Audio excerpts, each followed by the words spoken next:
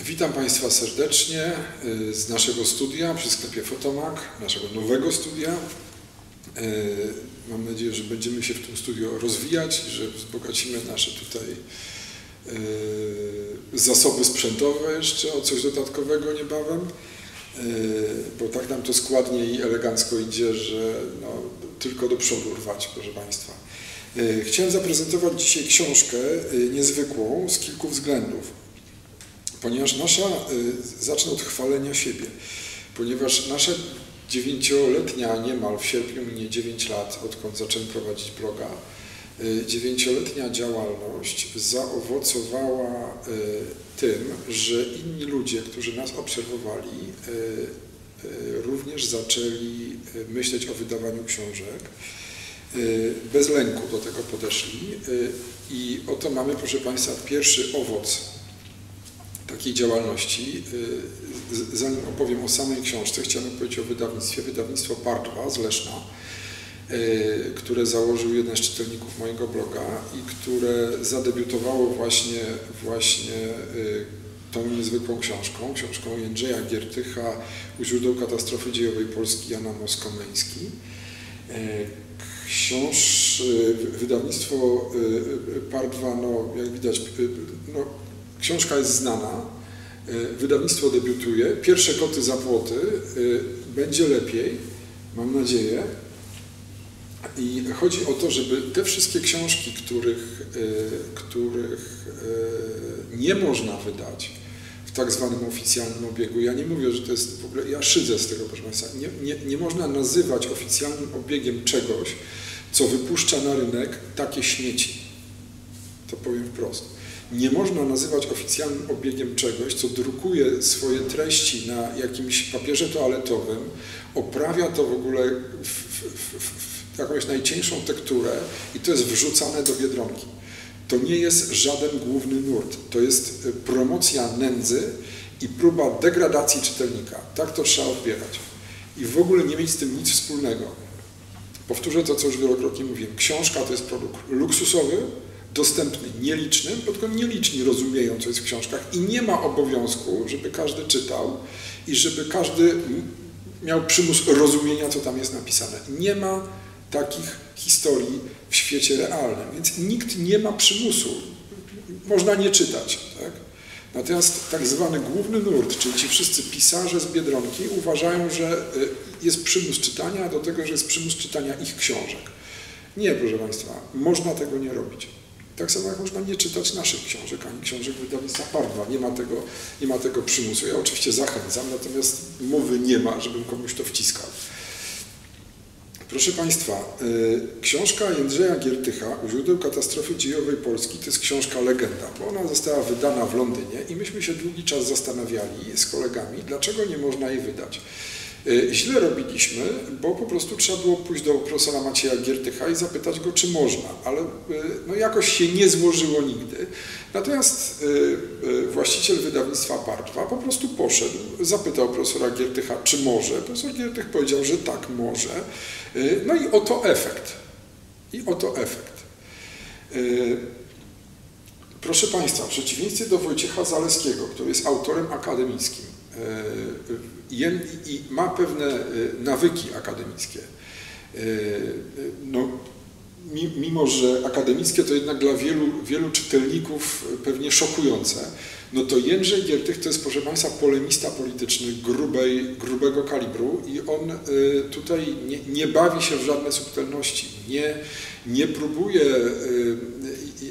nie szuka zgody z nurtem humanistycznym tak, w, tej historiografii, nie próbuje pogodzić ognia z wodą, Y, on jest gwałtowny, y, wyrazisty.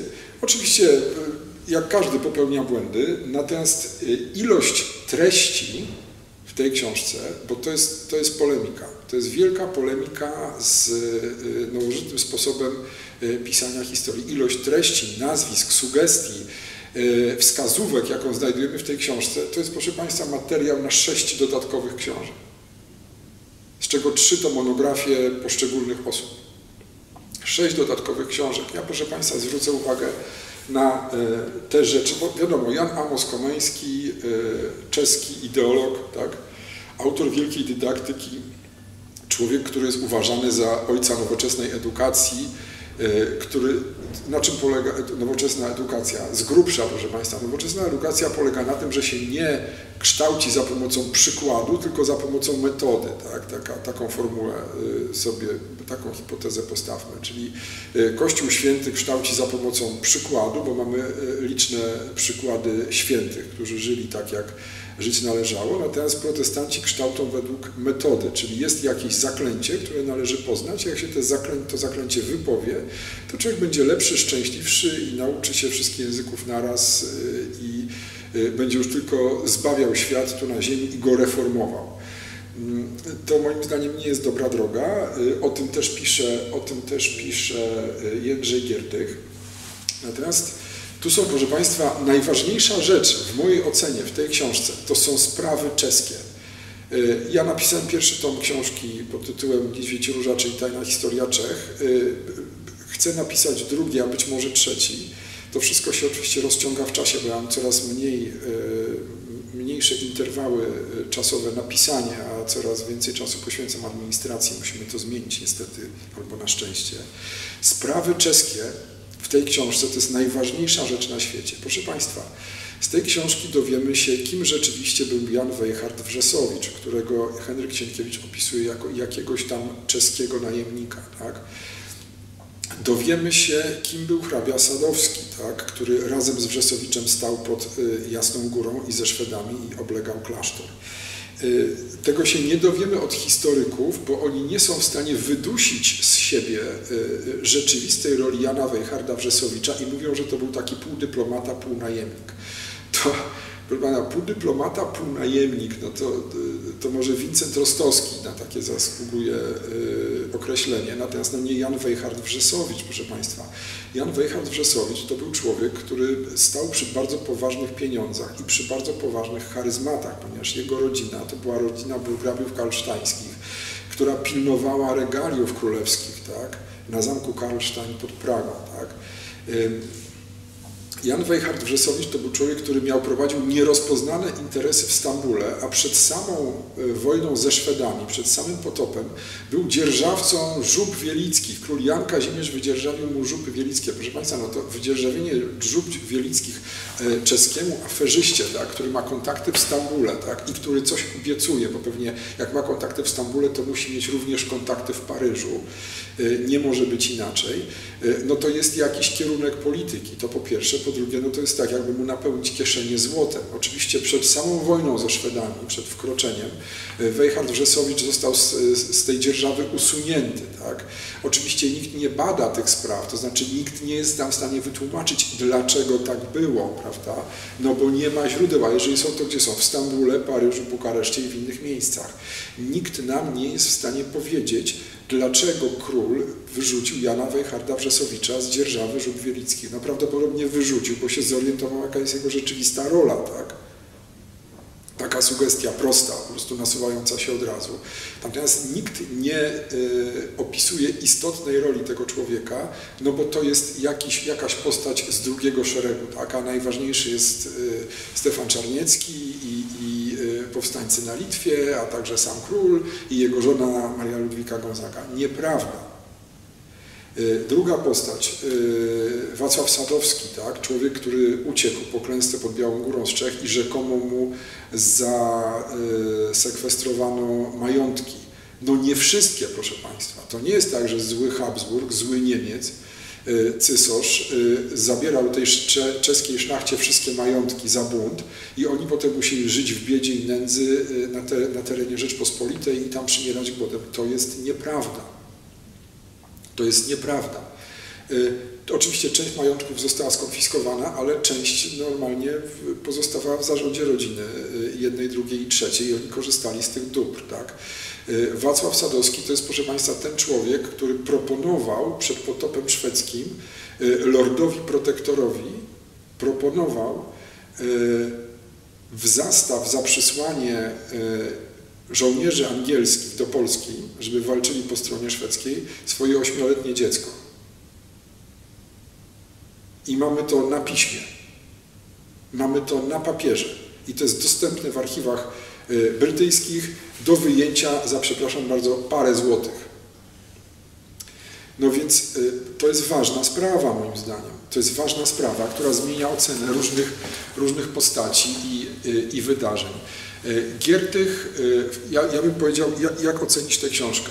Giertych szaleje. Czasem się mówi o kimś, że ktoś szaleje, prawda, w jakichś okolicznościach. No to, no to Jędrzej Giertych w tej książce po prostu szaleje. Ilość, y, tak jak mówię, faktów, nazwisk, y, dat, y, skojarzeń i sugestii jest po prostu niesamowita. To jest niesamowita, wciągająca, dynamicznie napisana książka i ja się bardzo dziwię, znaczy dziwię, może się nie dziwię, że potomkowie Jędrzeja Giertycha tak słabo inwestują w promocję swojego przodka. To jest dla mnie zdumiewające, dlatego że no, to był niezwykły facet. No, o niezwykłym życiorysie. No, on powinien mieć napisaną biografię już dawno, tak?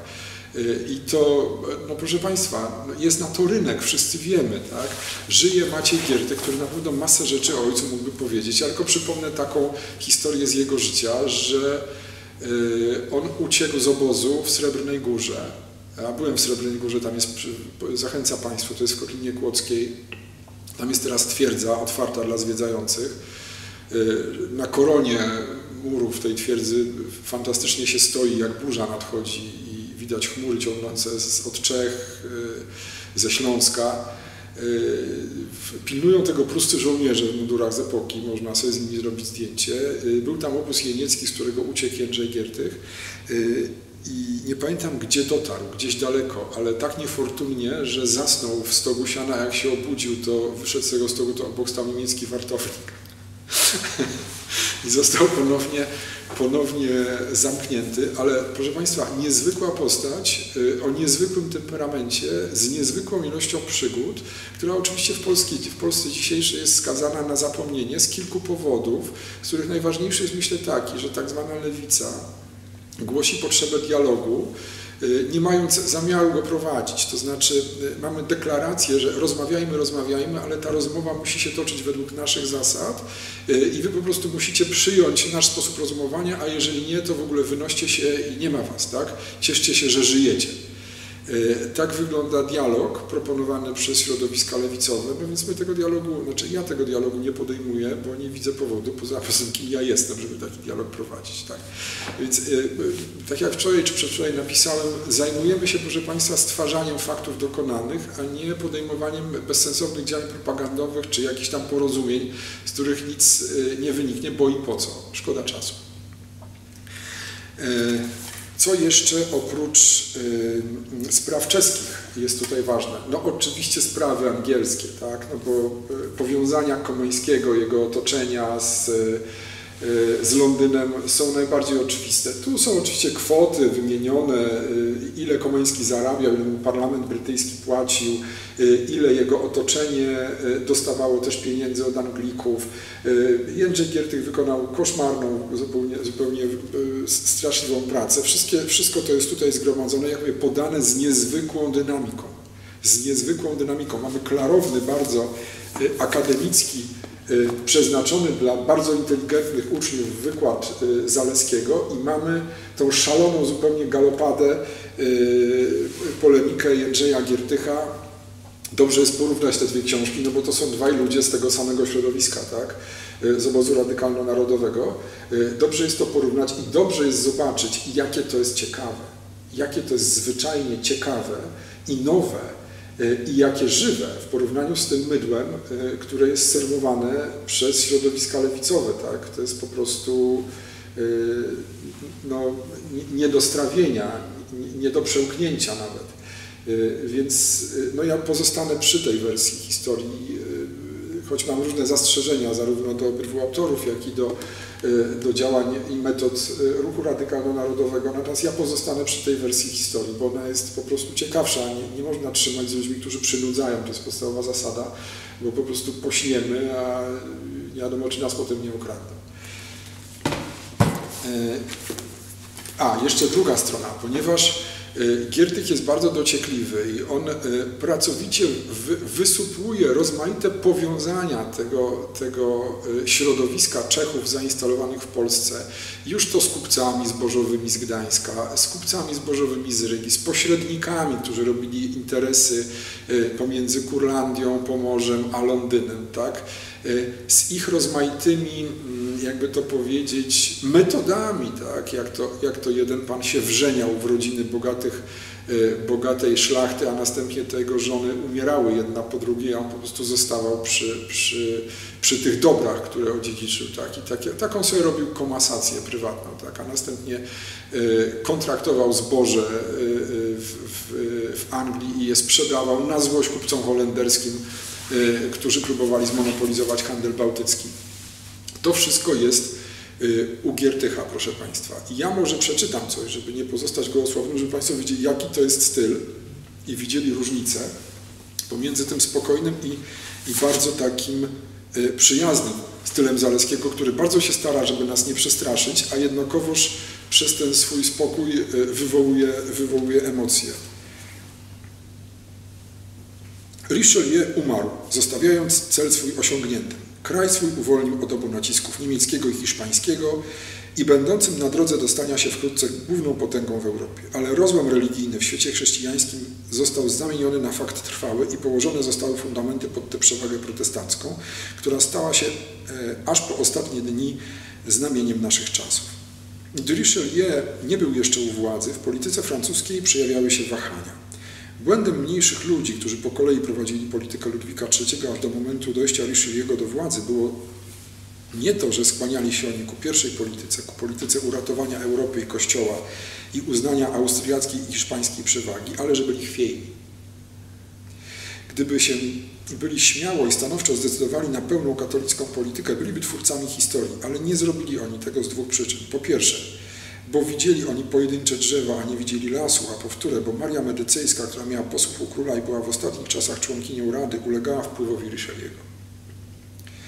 Choć się błąkała po umacku i choć była osobiście przyjazna Habsburgom, nie była ona w stanie, mając takiego doradcę u swego boku, pomóc polityce, w której on się przeciwstawiał.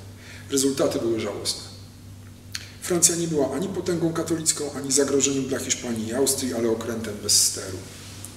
Gdy Richelieu doszedł do władzy, wszystko się zmieniło. Francja stanęła na europejskim, europejskim zmaganiu stanowczo po stronie obozu protestanckiego. To jest, proszę Państwa, bardzo ważne, bo niby o tym wiemy, że katolicka Francja popiera gdzie może protestantów, a do tego współpracuje z Turkami e, w imię ochrony własnych granic. Y, I y, dobrze jest pamiętać, jakie są tego konsekwencje, no bo konsekwencje są dalekosiężne i wybiegające w przyszłość, ponieważ Francja prowadząca tak pokrętną, dwulicową albo nawet trójlicową politykę staje się w momencie bezbronna wobec potęg, które y, prowadzą politykę podobną, ale na większą skalę, czyli wobec Brytyjczyków po prostu. Był taki moment pod koniec XVI wieku, gdy wydawało się, że wszystkie kraje mówiące po niemiecku będą stracone dla Kościoła. Uratowała sprawę i zmieniła kierunek prądu praca dwóch żarliwych, zdyscyplinowanych i wszędzie obecnych zgromadzeń zakonnych, świeżo założonych jezuitów i zreformowanej i gorliwej gałęzi franciszkanów zwanej kapucynami. Oba zgromadzenia miały jeden wyłączny cel. Tym celem było odbudowanie chrześcijańskiej jedności. Oba koncentrowały swoje wysiłki na Niemczech, bo Niemcy były tą chwiejącą się niepewną masą, której oderwanie się od katolickiej Europy wzięło początek i w której ostateczny rezultat jeszcze się nie zarysował. Nie należy sądzić, że ponieważ Niemcy ostatecznie skrystalizowały się jako w wielkim przybliżeniu katolickie południe i antykatolicka północ, również i w XVI wieku sprawa miała ten prosty charakter terytorialny. Odległość od stolicy cesarstwa w Wiedniu była jedną przyczyną postaci, jaką ostateczny układ stosunków przybrał. Inną były sposobności do popierania, popierania rebelii w odległych departamentach, dependencjach domu austriackiego, jakie mieli wskutek tego e, jego zagraniczni wrogowie. Ale główną przyczyną było wprowadzenie przez Richelieu'ego do boju po stronie protestanckiej przy pomocy francuskiego subsydium militarnego geniuszu, jakim był król szwedzki. Wysiłek jego, wychodzący z północy, wpłynął więcej niż cokolwiek innego na formę geograficzną, w jakiej skrystalizował się później podział między niemieckim katolicyzmem i niemieckim protestantyzmem. Proszę Państwa, to jest taki styl, on się utrzymuje od pierwszej do ostatniej strony, y, bardzo dynamiczny. Do tego y, y, te sprawy, które są dla niektórych oczywiste, dla niektórych nie, są tu ponownie oświetlone. Proszę Państwa, musimy pamiętać, że Szwecja w XVII wieku to był za mały kraj, żeby prowadzić samodzielną politykę. Szwecja to jest narzędzie w ręku Paryża. Y, to jest narzędzie w ręku Paryża, to jest mały młotek w ręku Paryża, bo dużym młotkiem w ręku Paryża była Turcja, to też musimy pamiętać. I ta polityka francuska na terenie Polski była bardzo pokrętna, y, bardzo subtelna i bardzo szkodliwa. Y, nam się dobrze myśli o Francji i nie mamy Francuzom nic do zarzucenia, natomiast Y, musimy pamiętać, że y, kiedy skończyła się rozprawa z Niemcami, tak, kiedy w czasie w wyniku wojny 30-letniej Niemcy zostały tak naprawdę zdewastowane, zdewastowane. Nie pamiętam jakie były Y, jakiego rzędu depopulacja nastąpiła, ale straszliwa zupełnie. Armie francuskie na zachodzie i szwedzkie w całej, y, w całej Rzeszy, a także y, lokalne bunty protestantów przeciwko cesarzowi spowodowały straszliwą katastrofę gospodarczą i demograficzną. Niemcy były bezbronne, ale to było za mało, ponieważ istniała jeszcze katolicka Polska i trzeba było wprowadzić tę samą armię szwedzką, która zwyciężała w Niemczech na teren Polski. Proszę Państwa, korzystając z okazji, z tej, takiej okazji, że, wybuchło, e, że wybuchła wojna z Chmielnickim, że wybuchła wojna z Moskwą i trzeba, po, po, podjęli Francuzi próbę za pomocą swojego najwierniejszego sojusznika, czyli Szwedów, e, z rozbicia i zniszczenia Rzeczpospolitej. Tak to trzeba oceniać i tak to ocenia Giertych. O, może o moim ulubionym bohaterze. O moim ulubionym bohaterze. Giertych ma fantastyczny styl, bo on się nie przejmuje y, różnymi ograniczeniami. No to jest wojskowy, musimy pamiętać. Y, rozmaicie z tymi wojskowymi bywa, bo niektórzy przynudzają, niektórzy nie, ale on nie przynudza y, i po prostu wali między oczy. Że posądzenie Opalińskiego o umyślną zdradę nie jest zarzutem gołosłownym, dowodzi rewelacyjne odkrycie Tadeusza Nowaka o kontaktach opalińskich w roku 1653, a więc na dwa lata przed potopem, wojewoda poznański Krzysztof Opaliński. Przed potopem z przybywającym w Sztokholmie Radziejowskim Nowak pisze w lecie 1653 spisek magnatów Wielkopolski przeciwko Janowi Kazimierzowi oraz do czego rzecz prosta nie przyznają się przeciw własnemu krajowi ruszy już na pełnych obrotach. Krzysztof Opaliński w porozumieniu z młodym bratem Łukaszem, marszałkiem nadwornym koronnym oraz innymi krewniakami piastującymi senatorskie godności w Wielkopolsce trzymać będzie nici tego spisku, przyjmując w swoich dobrach ujazdowskich leżących w pogranicznej ziemi wschowskiej emisariuszy Radziejowskiego i omawiając z nimi warunki przyjęcia szwedzkiej protekcji oraz kont y, kontaktując się z innymi grupami niezadowolonych feudałów na Litwie i w Małopolsce, kaptując wreszcie życzliwość szarej braci szlacheckiej. W sierpniu tegoż roku zamierza on nawet wyprawić w poselstwie za granicę do Radziejowskiego sędziego wychowskiego Szlichtinga, zaopatrzonego w liczne listy i wytyczne do traktatów, m.in. w sprawie wolności religii. Nie wiadomo jednak, czy legacja ta doszła do skutku. Szwedzi najwidoczniej z góry wiedzieli, że nie napotkają w Polsce, a zwłaszcza w Wielkopolsce, na opór. Y, Karol Dawagur, poseł francuski w Sztokholmie, miał wiadomość już zawczasu, że Szwedzi mają w Polsce kontakty spiskowe, które pozwolą im na zajęcie Polski bez walki. Od dwóch miesięcy ja Szwedów nie poznaję, pisał Dawagór w maju 1655 roku. Oni tak mówią, jakby szli do Polski nie dla walki, lecz dla objęcia w swoje posiadanie tego, co będą chcieli. Wiadomo również, że mają tajne kontakty w Prusie i na Litwie i wszędzie tam, gdzie religia jest mieszana. Już w połowie maja wiedziano w Szwecji, że miasta pograniczne w Wielkopolsce oddadzą się pod szwedzką opiekę. Proszę Państwa, no to jest wstrząsający zupełnie fragment, no bo Giertych dotarł do y, listu francuskiego posła w Sztokholmie i mamy tutaj wprost napisane, że protestanci, którzy, y, no bo dlaczego szlachta wielkopolska, małopolska i litewska, no bo tam y, były największe ogniska protestantyzmu, że oni się zwyczajnie szykowali do podziału królestwa, tak? I nie interesował ich ani interes szarej braci szlacheckiej, ani, ani co się stanie z Kościołem, ani co się stanie z krajem, prawda? No przecież wiadomo, że jeżeli przyjeżdża najeźdźca, to on nie przyjeżdża po to, żeby e, zjeść bułkę i wypić kawę, prawda? Tylko ma inne jakieś zamiary, a oddanie się w protekcję nie oznacza, że on będzie traktował nas dobrze i równo, prawda? To jest człowiek, któremu oddajemy dobrowolnie władzę, tak? I protestanci postanowili tę władzę dobrowolnie Szwedom oddać. No to teraz rodzi się pytanie, kto im dał jakie gwarancje i na co, tak? No zapewne na to, że oni sami ocaleją, a cała reszta zostanie zdruzgotana, y, zdewastowana i po prostu rozkradziona.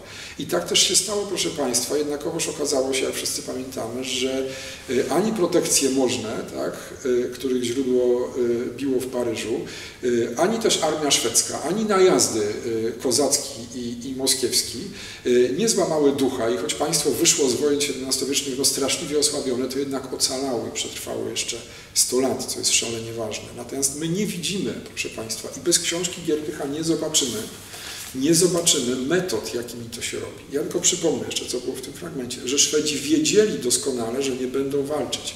Przyszli na gotowe, bo mieli tajne kontakty. I teraz sobie wyobrażam, jak wychodzi historyk e, z uniwersytetu, siada e, w, czasie jakiejś debaty publicystycznej i zaczyna opowiadać o tajnych kontaktach polityków szwedzkich ze szlachtą protestancką. To po prostu cięcie i do widzenia, wyrzucałem go ze studia. No przecież e, nie można mówić takich rzeczy, które są oczywiste, tak? Tajne kontakty y, polityków i oficerów szwedzkich w Prusach, Małopolsce i Wielkopolsce. Może jeszcze coś przeczytam, y, bo to jest fantastyczne, bo tutaj się też, proszę Państwa, potwierdzają wszystkie moje intuicje, żeby nie powiedzieć insynuacje, y, które ja wysuwam na blogu, na przykład w, w stosunku do królowej Ludwiki Marii, której nie lubię i nie polubię. Największa wina spada na główną sprawczynię pokoju oliwskiego na samą królową. Widzieliśmy, że to ona była, e, że to była pani przejęta politycznymi namiętnościami. Naprzód gotowa do wszelkiej ofiary, aby zyskać Austrię, mianowicie do wszelkich ustępstw dla elektora potrzebnego Leopoldowi I podczas rzymskiej elekcji. Połała potem szczególną natrętną nieprzyjaźnią ku Austrii. Odrzucała zdrowe rady korzystania z klęski Karola w Danii i Pomorzu, bo ta pochodziła od Austriaków. Bardziej niżeli dla korzyści na korzyści dla Polaków uważała królowa na to, by Austrię wprowadzić w niedogodne położenie. Zawsze więc okazywała się namiętną i przesadną, to za Austrią, to przeciw niej, to za Francją, to za elektorem, a nawet za Szwecją. Między innymi trudno zrozumieć, czemu żarliwie popiera elektora, bo jeżeli to pochodziło z uczucia powinności dotrzymywania układów, czemuż tak gorliwie obstawiała za przymierzem wiedeńskim i za kopenhaskim, zawartymi tego samego roku co bydgoskie. Zapewne układała sobie Ludwika Maria elektora od Austrii odprowadzić, a zobaczymy, że on zręcznie do, odwodził Austrię od Polski, idąc coraz dalej w nieprzyjaźni ku wiedeńskiemu gabinetowi i łącząc się nawet ze Szwecją przeciwko Moskwie. Mogła myśleć królowa, że Karol Gustaw bez boju się nie obejdzie i uwolniony od wojny z Polakami ją przeciw Moskwie ochoczo popierać zechce. Ale śmierć jego zmieniła całe położenie, a jednak królowa od swojej polityki w niczym odstąpić nie chciała. Rzecz dziwna, że między tylu wielce uzdolnionymi polskimi dyplomatami żaden nie uczył osobliwej potrzeby korzystania z wypadku tak fortunnego dla sprawy. Pojedynczy ludzie nie śmieli opierać się królowej, co od chwili przyjętego pośrednictwa w Francji wpływała, wpływała głównie na gabinet warszawski, a w czasie kongresu prowadziła polskich komisarzy, kierowała niejako naczelną sprawą narodu. Ta pani, dumna i drażliwa, poświęcając wszystko chuci panowania i wyniesieniu swego rodu, dążyła skwapliwie do celu, wyrachowania politycznie zastępowała namiętną rządzą i we wszystko wierzyła, co sobie życzyła. A zapominała o dwóch głównych warunkach panowania, o wierności dla sprawy narodowej i o szczerości wobec sprzymierzeńców. Nic się jej nie powiodło, nieprzyjaciół nie ujęła, a sprzymierzeńców odstręczyła, zyskała jedynie Francję, obłudną, która jak to z dalszych dziejów wiadomo, opuściła ją w chwili stanowczej i przez to zgubiła królową i króla. Proszę Państwa, no, to są takie, y, no, dla mnie sprawa jest oczywista, tak, że królowa y, y, to jest osoba, która prowadzi w Polsce politykę francuską i to jest polityka francuska zakrojona na bardzo szeroką skalę, bo to jest takie wyjście awaryjne, prawda? Jeżeli jedno narzędzie polityki francuskiej w Polsce, czyli Karol X y, Gustaw, król Szwecji, który próbował tutaj y, zorganizować wszystko po nowemu, y, nagle gwałtownie kończy życie, tak? bo, bo jego możliwości się wyczerpały i trudno przypuszczać, żeby to życie zakończył, miał 30 parę lat. To życie zakończyło się w sposób naturalny, tak? ktoś mu po prostu pomógł zejść z tego świata, no to włączamy opcję drugą, która nie jest opcją wojenną, ale opcją polityczną, opcją intrygi, tak? Y, dworskiej i to jest królowa, która prowadzi tę politykę tak, żeby uzyskać cele zaplanowane przez Francuzów w Polsce bez wojny, za pomocą pieniądza jedynie i jakichś y, obietnic bez pokrycia. Tym się zajmuje Maria Ludwika Gonzaga i to oczywiście prowadzi do zguby, ponieważ y, no, tak to jest, proszę Państwa, z narzędziami politycznymi dworów obcych, że one się zużywają. Jak się zużyją, to są wyrzucane. Mm, Giertych tego wprost nie wskazuje, bo on jest bardzo roznamiętniony tym, tą historią i tą swoją polemiką ze stanowiskiem uniwersytetu. No ale my na to możemy wskazać i wskazujemy. Dobrze, proszę Państwa, jeszcze raz. U źródeł katastrofy dziejowej Polski Jan Amos Komeński, może jeszcze przeczytam spis treści, bo to jest ważne. On jest króciutki, spis rzeczy. Przedmowa, wstęp, Jan Amos Komeński, biskup braci czeskich.